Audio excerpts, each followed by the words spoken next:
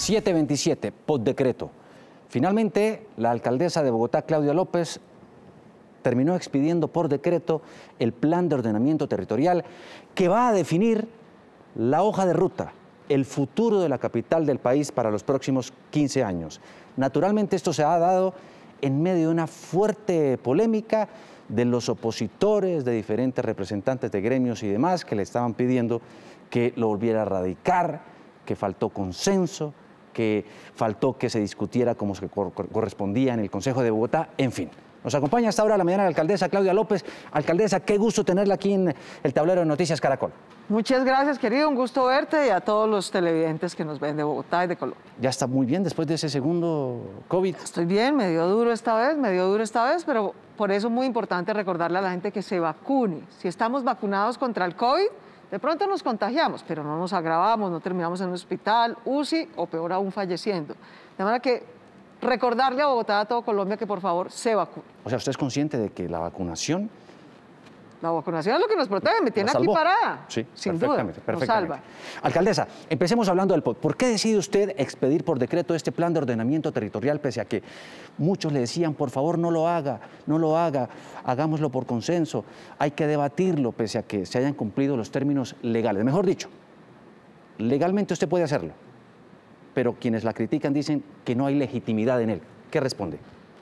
Que llevamos 10 años en ese debate y en estos 10 años los bogotanos siguen sin vivienda de interés social, sin colegios, los jóvenes sin oportunidades, hace falta vivienda digna, necesitamos metro, más metro, mejor movilidad. 10 años discutiendo, llegó la hora de hacer, hacer, no más debates entre políticos, no más saboteos, ni hacen ni dejan hacer. Llevamos 10 años discutiendo y no hay mucho que inventar. Los bogotanos que nos escuchan saben que tenemos una enorme deuda ambiental y quieren que reforestemos más a Bogotá, que sea más verde, que haya más parques. Eso vamos a hacer, pagar la deuda ambiental de Bogotá. Los bogotanos, sobre todo la clase media bogotana, sabe que necesita trabajo, vivienda digna, parques, colegios, hospitales, para que si tenemos otra pandemia no nos pase lo que nos pasó el año pasado. Los vamos a hacer en vez de discutir. Necesitamos transporte público, necesitamos más metro, más cables, más buses eléctricos para no estar en tanto trancón y tener una alternativa de transporte público. Lo vamos a hacer. Llevábamos 10 años discutiendo, 10 años de debates, 10 años de estudios. Vamos a hacer la ciudad que nos han pedido los bogotanos. Usted lo ha radicado tal, lo ha expedido tal y como lo radicó en septiembre. Así debe ser, eso dice la ley. No, eso dice la ley. ¿Por qué no le hizo las modificaciones ahí mismo que Porque las modificaciones las podía hacer el Consejo. Pero el Consejo no se pronunció, el Consejo no hizo su trabajo. Durante 90 días ellos tenían la oportunidad de tomar la decisión. ¿Y cuándo le van a hacer las Los concejales no lo hicieron. Como no lo hacen, y una ciudad no se puede quedar sin plan, sin norte, sin obras, entonces la ley dice que si los concejales no toman su decisión, la alcaldía lo puede expedir, eso hemos hecho. Y estas modificaciones que se hicieron en los debates, en los cabildos abiertos y demás de los diferentes representantes y gremios, la ley con los mismos ponentes que usted concilió. Hay dos tipos de modificaciones como el POT es un proceso tan participativo, porque tiene un debate muy amplio, se hicieron dos cabildos abiertos con la ciudadanía, fueron gente de los barrios, los recicladores, etcétera. Entonces la ley nos dice, usted debe expedir el plan que usted propuso. Pero si hizo acuerdos con la ciudadanía, con los recicladores, con los gremios en el cabildo, después de que lo expida, incorpora esos acuerdos. Eso vamos a hacer. Por ejemplo, con los residentes de los barrios de Bogotá. ¿Qué nos pidió la gente? Nos dijo, alcaldesa, nosotros entendemos que en una ciudad tiene que haber bares y tiene que haber discotecas y hay zonas de entretenimiento para adultos. Pero, por favor, no nos la ponga en barrios residenciales. Eso déjelo en las vías principales, en las zonas estructurantes. Eso acordamos en el Cabildo, que no va a haber bares ni discotecas ni actividades sexuales pagas en barrios residenciales. Ese cambio lo vamos a hacer ahora porque fue lo que acordamos en el Cabildo Abierto. Y hay otras cosas que son pura reglamentación, precisiones, que se sepa cómo van a ser los trámites, los tiempos, que haya seguridad jurídica. Eso lo acordamos con los constructores y así lo vamos a hacer también en la reglamentación y aplicación del POT. Hay cinco ejes fundamentales que contiene este plan de ordenamiento territorial de poco más de 600 artículos. Pagar una deuda ambiental, pagar la enorme deuda social, construir el sistema de transporte verde multimodal y regional, acercar la ciudad a la ciudadanía con 30 localidades, construir una ciudad, región integrada, innovadora y sostenible. La pregunta que se hace cualquiera en Bogotá es, ¿por qué tanta oposición? Yo quiero que em-, empecemos ahorita a hablar de cada uno de esos, alcaldesa, pero antes escuchemos a quienes critican el que usted haya pedido esto por decreto, por favor. Es, el talante autoritario, es el talante egoísta de una ciudad, porque considera que es únicamente lo que ella, lo que ella cree debería ser el poder. El texto original de este plan es absolutamente inconveniente para la ciudad, puesto que fue hecho a las carreras y tiene muchísimos errores en cargas urbanísticas. No va a tener mucha legitimidad política y social. Y por lo tanto, los siguientes alcaldes seguramente se van a hacer los locos a la hora de implementarlo y Bogotá va a seguir sin brújula. Es mentiras que este POT tenga amplia participación ciudadana ha sido cuestionado por los ciudadanos, por las organizaciones sociales, por varios sectores de la ciudad, incluyendo el CTPD. Ahora nos queda estudiar las consecuencias que esto traerá para la ciudad y acompañar el proceso de reglamentación que ella prometió el día de hoy. ¿Qué les dice usted, alcaldesa? Cuatro de los que acabamos de escuchar son concejales. Los concejales tuvieron 90 días para hacer su trabajo. ¿Por qué no lo hicieron, apreciados concejales? La concejal Carolina Arbeláez además dejó el puesto tirado. Mandó una carta diciendo, no, radique el post del año entrante y lo estudiamos. A los cinco días renunció, dejó el puesto tirado y se fue a hacer campaña política. Eso no se lo merecen los bogotanos. Los bogotanos no merecen que su vida siga en peleas y saboteos de políticos. Los bogotanos necesitan metro, necesitan vivienda, necesitan educación, necesitan trabajo. Para eso fue que nos eligieron, no para las peleas de políticos. Los concejales querían aprobar el POT los bogotanos les pagan un altísimo salario porque trabajen. Tuvieron 90 días para hacer ese trabajo. ¿Lo hicieron? No lo hicieron. No lo hicieron. Y Bogotá no se puede ¿Por qué no quisieran, quisieran hacerlo? ¿Por qué no? Porque se dedicaron a pelear entre ellos. Bienvenido al mundo de los políticos. Los unos a sabotear a los otros, a demandar a los unos, a pelear, a que no lo sacaran, a que sí lo sacaran. Y en eso se les fueron 90 días pagados por los bogotanos. No hicieron ni un debate para aprobarlo. Ahora, por ejemplo, el concejal Germán García, que hoy dice que no le gusta, concejal, si no le gustaba, ¿por qué dio ponencia positiva? Él dio una ponencia positiva y dijo que le gustaba el POD, que predía que lo aprobáramos y ahora dice que no le gusta. Ese es el mundo de la mezquindad de los políticos. Sabotear y no dejar hacer o dejar el puesto tirado e irse a hacer campaña. No, yo sí estoy aquí trabajando por Bogotá y este es el plan. Yo quiero que la gente entienda y de eso vamos a hablar. porque esas cinco cosas. ¿Qué es el plan de ordenamiento territorial para que los bogotanos nos entiendan? A diferencia de un plan de desarrollo, que es lo que hace una alcaldía durante cuatro años, un plan de ordenamiento territorial es el plan de obras que nos comprometemos, no importa quién sea el alcalde o el consejo, a hacer durante 14 años, en cinco temas críticos. Nos dice, bueno, ¿cómo hacemos lo ambiental? ambiental. Expliquemos Empecemos por lo ambiental. Por ese punto. para, que la gente entienda, a ver, eh, digamos, si a quién creerle. si usted va a ordenar el territorio, nos dice la ley, lo primero que debe garantizar es que la estructura ecológica principal y el agua, que es el elemento esencial para poder tener una ciudad, llegue a la ciudad. En, la práctica, ¿qué es reconocer la estructura ecológica? ¿Y qué es lo que plantea este Proteger los páramos de donde viene el agua. Proteger los humedales para que la ciudad no se inunde, sino que los humedales absorban el agua. ¿Y cómo se protege? Sembrar más árboles, evitando que se endurezcan, por ejemplo. Entonces, por ejemplo, alcaldías anteriores han mandado a hacer obras, han echado cemento, han hecho obras sobre humedales. No más. No podemos endurecer los humedales, los humedales son las esponjas que absorben el agua de la ciudad. Muchos querían seguir construyendo los cerros orientales o construir sobre la ronda de los o hacer, ríos. O, hacer la ALO, ¿no? La ALO al norte. No se puede, porque entonces destruye la reserva Thomas van der Hamen. No, señores, no podemos seguir destruyendo el medio ambiente. La reserva Thomas van der Hamen se va a proteger, se va a sembrar, los humedales no se endurecen, los cerros orientales no se construyen, las rondas de los ríos tampoco se construyen. Eso es proteger la estructura ecológica principal y este POT lo hace porque es lo que la ciudadanía nos pide y porque estamos en la era de la emergencia climática. Claro. Otro segundo punto clave de este POT, ¿no? Tiene que ver con la deuda social. Correcto. Explique, por favor, señora alcaldesa, ¿Qué significa pagar la deuda social? Juan Diego, tú has salido a las calles durante los últimos dos años a acompañar a la gente que protesta, marcha, hace paros, movilizaciones, jóvenes que nos dicen, no tengo empleo y educación, que en esta ciudad haya más fuentes de empleo, que haya educación, que haya universidades públicas. Mujeres que necesitan trabajo porque lo perdieron. Gente que necesita vivienda digna, no estar viviendo en un cerro que se va a caer porque no es una vivienda digna con servicios públicos. Eso es pagar la deuda social. ¿Y qué propone? El POD que propone que la vivienda de interés social, la de la gente más humilde, la de la clase media bogotana, tenga un área mínima, tenga 42 metros cuadrados al menos, pero no solamente tenga un área mínima, sino que también tenga parques, tenga espacio público, tenga colegios. Viviendas de interés eh, social de 42 metros cuadrados. Mínimo. Mínimo. Mínimo. Hoy por hoy son de 36. Hoy por hoy son de 17. 17. Hoy por hoy, y eso es lo que este POD prohíbe, y a algunos constructores no les gusta, pero yo me siento muy orgullosa de honrar a la clase media y popular ¿Y por qué no les gusta, alcaldesa? Porque usan plata subsidiada, la plata que subsidiamos para hacer vivienda de interés social la subsidiamos con impuestos, para hacer vivienda para la clase media y para la gente humilde.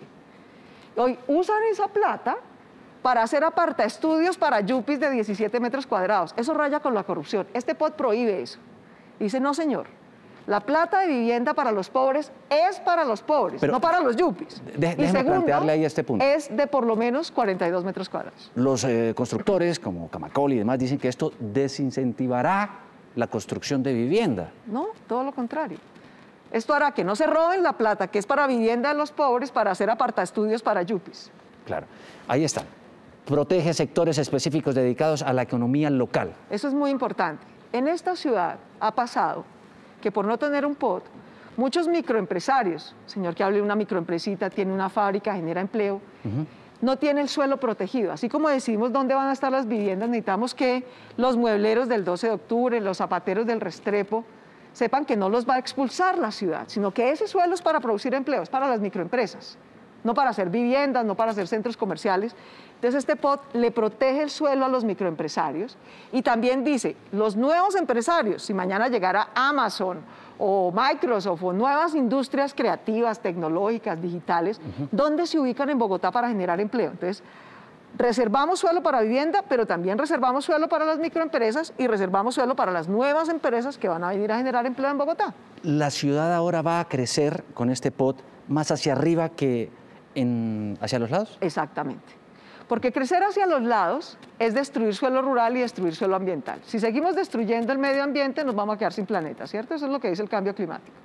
Y- Cada y vez es- tenemos. Entonces, en vez de seguir destruyendo el suelo ambiental, vamos a mejorar la ciudad, vamos a ¿y hacer hay metro. suficiente suelo, alcaldesa? Hacia arriba sí, podemos hacerlo hacia arriba, pero no es simplemente tumbar una casa y hacer un edificio.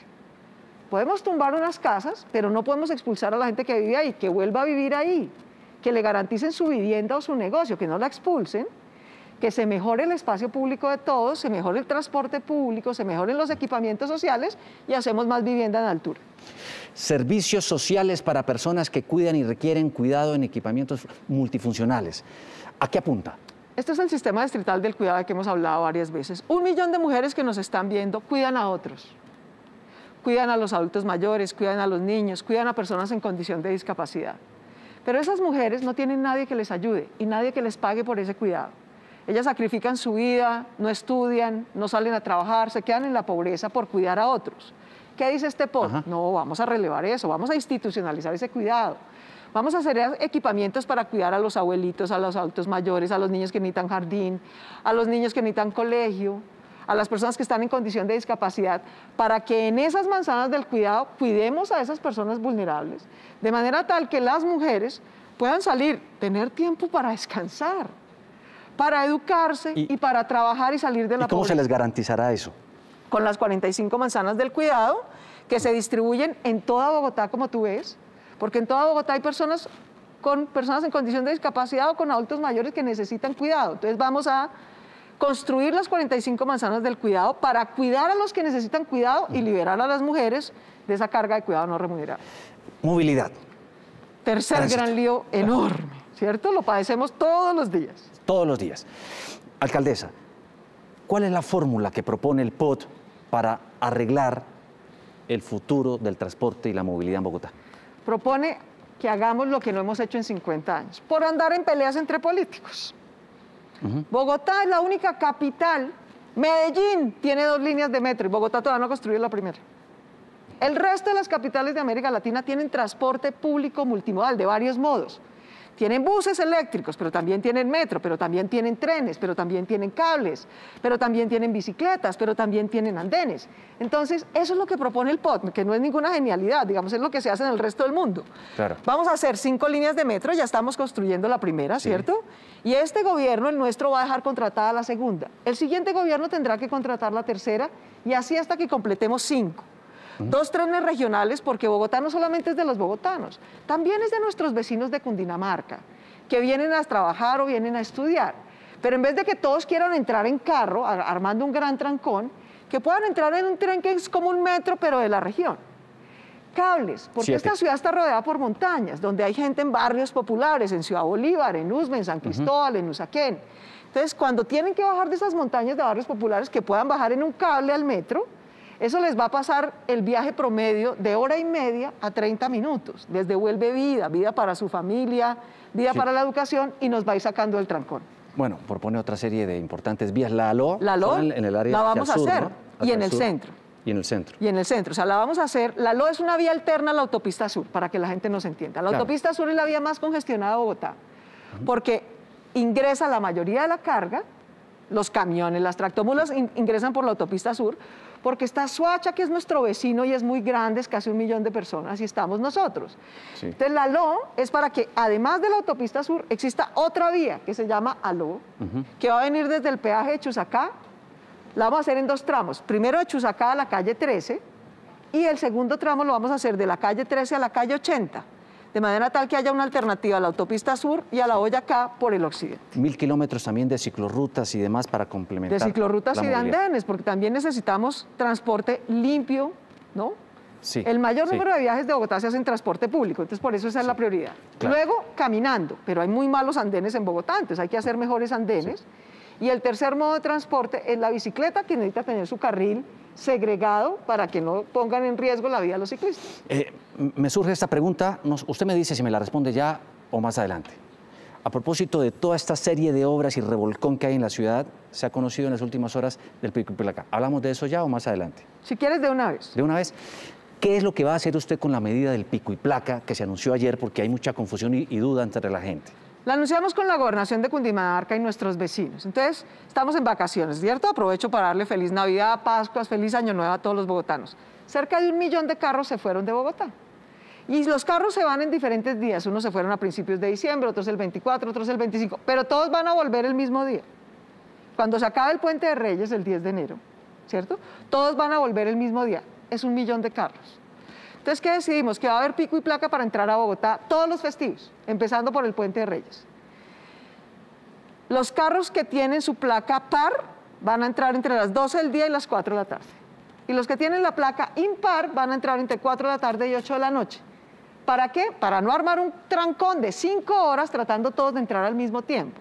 Porque como somos tantos, el mismo día, por las mismas vías, vamos a hacer pico y placa de ingreso a Bogotá. ¿Va a ser solo el Puente de Reyes? No, va a ser todo el año.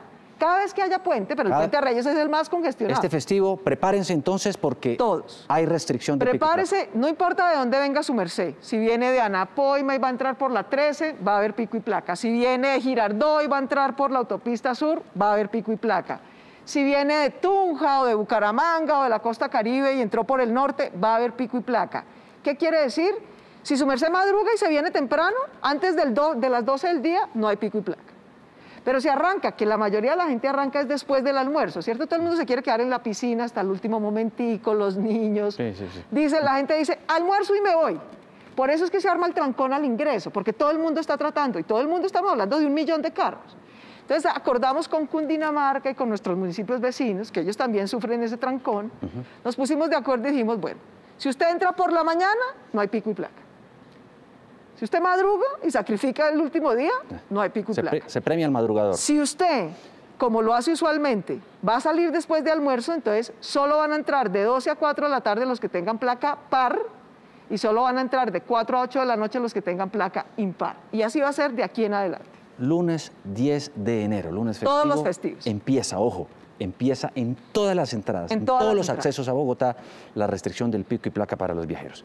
Queda chuleado ese punto. Alcaldesa, eh, es inevitable preguntarle lo siguiente.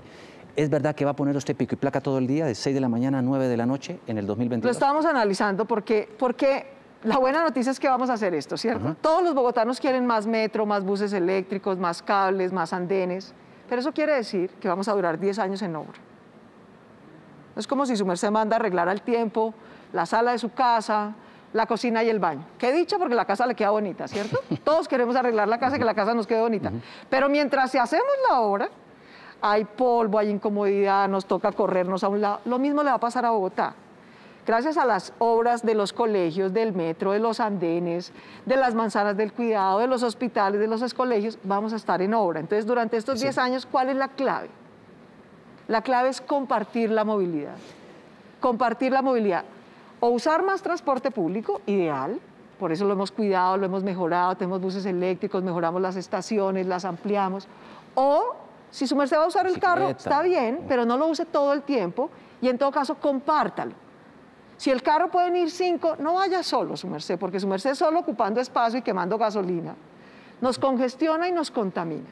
Entonces la clave es movilidad compartida y para eso vamos a tomar varias medidas que va a anunciar la Secretaría de Movilidad. ¿Va a incluir restricción de pico y placa los sábados? Mm, estamos analizándolo, pero sabemos que es una medida difícil para la ciudad, que los sábados suele salir con la familia, hacer mercado, en fin, entonces estamos evaluando. ¿Cuándo podría ser esa restricción y empezaría a regir? antes de que se acabe el año, la Secretaría de Movilidad va a hacer los anuncios respectivos. O sea, entre hoy y mañana. Puede ser hoy o mañana o pasado mañana, sí.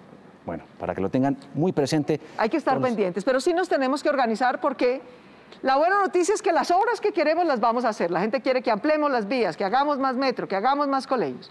Vamos a durar 10 años en obra, queridos. Vamos a hacer con este POT en 15 años lo que no hicimos en 50, porque por eso es que tenemos la ciudad muy desorganizada y muy congestionada. Claro. Pero como cuando su merced hace obras en su casa, va a ser un poquito incómodo mientras las construimos. Claro. Alcaldesa, eh, otro de los puntos claves de este plan de ordenamiento territorial es el de acercar la ciudad a la ciudadanía con 30 localidades que le permitan acceder. Es decir, Bogotá tiene 20 localidades en este momento. Usted quiere volver a Bogotá una ciudad de 30 localidades. ¿Por qué? Y de una se le formulo la, crítica que le hacen. ¿No es eso aumentar la burocracia? ¿No es eso destinar más plata a la administración y demás? No, eso es acercar la ciudad a la gente. Acabo de decir lo que le pasa a mucha gente. Bogotá es una ciudad muy grande, de 8 millones de personas. Para ir de la casa al estudio, para ir de la casa al trabajo, para ir de la casa a la cita médica, para ir de la casa al teatro, para eh, tener acceso a cultura.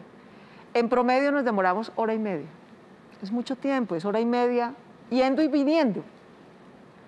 Entonces, para que haya más colegios cerca, más hospitales cerca, un CADE donde pagar los servicios públicos, que toda la gente le quede alrededor de 30 minutos, no importa si su merced está en Usme, en Ciudad Bolívar, en Kennedy, en Usaquén, que todos los servicios sociales y públicos le queden en promedio a 30 minutos, no en promedio hora y media. Pero hay que construir la ciudad de esa manera. Y la decisión de las 30 localidades no la tomé yo, la tomé el Congreso de la República. Nosotros simplemente la estamos incorporando en el POT. Cambiaron tres leyes este año. Sí. Cambió el Estatuto Orgánico de Bogotá, que fue el que dijo que Bogotá iba a tener 20 localidades. Nos dijo, ustedes en el POT decidan cuántas para que la gente tenga los servicios sociales más cerquita. Hicimos el estudio para el POT y concluimos que Bogotá debe tener 30 localidades urbanas y 3 rurales, para que la ciudad, el tiempo que su merced se gasta al colegio, al empleo, al estudio, al deporte, a la cultura, no sea hora y media, no sean 90 minutos, sino sean 30 minutos. Claro. Punto 5. Construir una ciudad, región integrada, innovadora y sostenible con buen ordenamiento, urbanismo y demás, que es más o menos lo que usted ya venía mencionando tener en cuenta Bogotá y sus municipios aledaños, ¿no? La región. Exactamente, esa fue la tercera ley. Fíjate que es que este fue un año en el que tuvimos tres logros muy importantes como ciudad. Bogotá lleva desde 1994 tratando de reformar el estatuto orgánico de la ciudad para ver cómo tenemos localidades más cercanas, servicios sociales más cercanos. No se había cambiado, se cambió este año. Claro. Llevamos 17 años sin POT, lo acabamos de expedir. Y llevamos 40 sin región metropolitana. Tenemos que concertar. La gente no conoce fronteras, ¿cierto? Los colombianos que viven en Suacha y trabajan en Bogotá son los mismos colombianos, o que vienen de Chía, o que vienen de Mosquera. Entonces necesitamos organizar nuestra región metropolitana. No solamente haya metro dentro de Bogotá, sino que si su merced viene de Faca, Funza, Mosquera, también puede entrar en un metro ligero que se llama Regiotra. Pero para eso tenemos que tener una región metropolitana donde acordamos los servicios públicos, el agua, el ordenamiento, la movilidad, la seguridad. Ese es el quinto propósito del POT. Vamos a tener una Bogotá más cercana, con más servicios más cerquita dentro de Bogotá, pero también integrada con la región metropolitana. Alcaldesa, eh, se van a venir una avalancha de demandas, usted lo sabe bastante bien. Eh, ¿qué hacer en el caso eventual de que se frene lo que usted está impulsando? Pues hombre, yo creo que esa, esa es la vida de los políticos que no entendemos los ciudadanos. Y es ni hacer ni dejar hacer. ¿Por qué Bogotá no tiene metro? Porque en eso se la pasan los políticos y los alcaldes. El uno hace, el otro daña, el otro para, el otro desbarata. Y las consecuencias las pagan los bogotanos. Yo estoy absolutamente tranquila con las facultades legales que nos da la ley. Esta no es la primera vez que el plan de ordenamiento territorial, como el Consejo no hace su tarea, lo decide la alcaldía. Siempre se ha adoptado así, siempre. El primer plan de ordenamiento territorial en el 2000, el Consejo no se pronunció, se adoptó por decreto. Segundo fue en el 2004, también se adoptó por decreto. Y ahorita el Consejo no hizo su tarea, Bogotá no se puede trancar, no se puede parar, entonces se adoptó por decreto. De manera que con las mismas facultades legales que se ha hecho antes, se hizo ahora. Si los políticos quieren seguir en su saboteo y en sus peleas y en sus mezquindades, eso no le va a arreglar la vida a los ciudadanos. Yo estoy aquí para trabajar por la gente, para que hagamos las cosas que la gente nos ha pedido, que hemos discutido durante 10 años. Lo hemos hecho en los debates electorales, lo hemos hecho en los programas de gobierno. Llegó la hora de no pelear, y no discutir y hacer, hacer la vivienda que necesitan los bogotanos, la educación que necesitan los jóvenes, el cuidado que necesitan las mujeres, el metro que necesita la región. Alcaldesa, rápidamente, para cerrar esta entrevista, quisiera preguntarle sobre una cosa que le han cuestionado mucho en, redes y en otros espacios, y es, eh, ¿por qué usted se opuso a que Peñalosa lo sacara por decreto tan frenética y radicalmente y ahora lo expide por decreto? ¿Qué les responde? Porque no estábamos de acuerdo con la propuesta del alcalde Peñalosa. El alcalde Peñalosa no le pedía cargas a los constructores, que los constructores puedan hacer negocio a costillas de la gente, pero que no paguen espacio público, que no paguen vivienda digna, que no ayuden a hacer ciudad. Yo no estoy de acuerdo con eso, porque eso deja sin vivienda digna a la gente. Yo no estoy de acuerdo con hacer volteo de tierras. El exalcalde Peñalosa evade impuestos en Panamá y promueve volteo de tierras en Bogotá. Y eso es su propuesta. Yo propuse otra en la campaña. Y el alcalde perdió las elecciones. Propuso su propuesta y perdió las elecciones. Me parecía y me sigue pareciendo, lo dije en el 2019 y lo vuelvo a repetir hoy. Alguien que acaba de perder en las urnas, que los ciudadanos le dicen, no más Peñalosa, no más sus buses, no más depender de Transmilenio, no más volteo de tierras. Que aquí todo el mundo ayuda a hacer vivienda digna y ciudad digna. Pierde y al otro día no lo impone. Claro que me parecía un despropósito. Yo gané en democracia. Todo esto que yo estoy diciendo, los bogotanos me lo llevan oyendo desde la campaña del 2019.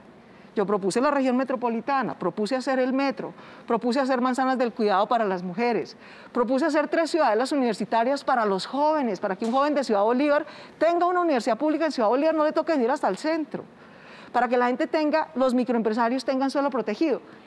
Y la democracia dice, si usted propone eso, lo tiene que cumplir, yo estoy cumpliendo. Estoy cumpliendo lo que propuse. Le propuse al Consejo que entonces la decisión la tomaran ellos y si querían hacer cambios y mejoras lo hicieran. Se dedicaron a pelear y no tomaron una decisión. Bogotá no se va a quedar en peleas de políticos. Bogotá va a construir la ciudad justa, a pagar la deuda social que tenemos con la clase media bogotana, con los sectores populares, con los jóvenes, a pagar la deuda ambiental, a construir el sistema de transporte público que nos devuelva aire limpio y movilidad sostenible a integrarnos con la región y a acercar la ciudad a la ciudadanía. No me perdonan si no le pregunto esto, alcaldesa. Eh, ¿Qué le responde usted a los ciudadanos que hoy sienten temor de salir a la calle por la inseguridad y los hechos recientes de atracos, asaltos y demás? Que ha sido un año muy difícil, lo hemos reconocido aquí, lo hemos hablado. Este fue un año muy difícil. Este fue un año en el que se duplicó el desempleo, se duplicó la pobreza, hubo estallido social, hubo paro. Y todo eso empeoró la inseguridad, desafortunadamente. Este es un año que vamos a cerrar con 9% de incremento en el homicidio y 10% de incremento en el hurto. Muchos de ellos hurtos violentos, de ciudadanos que les agreden la vida por cuenta de un celular. Eso a todos nos duele. Mataron a la periodista, por ejemplo, Natalia Castillo. A todos nos duele. ¿Y qué hacer, alcaldesa? Eh, la gente dice, Cinco hagamos algo. cosas concretas. Cinco cosas concretas llevamos haciendo todo el año y hasta junio tuvimos una situación muy difícil. De julio en adelante, poquito a poco ha venido mejorando. ¿Qué hemos hecho? Lo primero, es que Bogotá vuelva a tener empleo. Recuperamos un millón de empleos, salvamos 65 mil microempresas. Lo segundo es que la gente que está en pobreza salga de la pobreza. Hay mucha gente que se va a ir de pronto a robar, etcétera, porque no tiene oportunidades. Más bien le damos comida, le damos renta básica, le estamos girando a 840 mil familias que cayeron en pobreza una renta básica para que pueda comer y ayudarla a salir de la pobreza. Lo tercero, es trabajar con la ciudadanía, conectar las cámaras, reactivar los frentes de seguridad, que todos tengamos más ojos en la calle y alertemos y nos cuidemos entre todos. Hemos reactivado los frentes de seguridad de la ciudad. Lo cuarto, necesitamos más policía. Bogotá tiene 8 millones de habitantes y 17 mil policías. 17 mil. Solamente tiene 6 mil por turno. Es muy poquito para cuidar a la gente. Entonces hemos ido reforzando. Por ejemplo, este diciembre tenemos 4 mil policías más circulando en ciertos turnos y eso nos ha permitido que este diciembre mejore la cosa. Y quinto, necesitamos que la justicia haga su parte. Que cuando la policía captura a los ladrones y captura a los criminales, no los deje libres y no los suelte. Entonces, en los cinco temas estamos trabajando. Fue un año muy difícil, fue un año en el que desafortunadamente se empeoraron esos dos indicadores. De julio a diciembre, mes a mes ha venido mejorando y estoy segura que en el 22, con más empleo, menos pobreza, más trabajo, más reactivación, más refuerzos de la policía y las modificaciones legales que se han hecho para que los jueces no suelten a los ladrones, la situación va a seguir mejorando poco a poco. 758. Alcaldesa, muchísimas gracias por estar aquí en Noticias Caracol, por pasar al tablero, por resolver todas estas dudas en torno a lo que va a ser este plan de ordenamiento territorial y el futuro de Bogotá para los próximos 15 eh, años. Hay muchos temas. Quisiera yo tenerla aquí a usted una hora, hora y media, dos horas, pero nos tocó 30 minutos nomás. Yo vuelvo, yo vuelvo cuando quieras. De verdad, Juan Diego, mil gracias a los bogotanos. Gracias por su paciencia. este fue un año muy difícil. Tuvimos pandemia, tuvimos desempleo, tuvimos pobreza, tuvimos estallido social. Pero poco a poco entre todos nos hemos cuidado, hemos salido adelante. Por favor, vacúnense.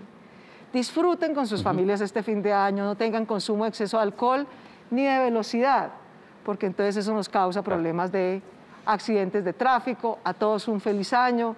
Gracias por su paciencia, por su comprensión. Juntos, cuidándonos, vamos a salir adelante.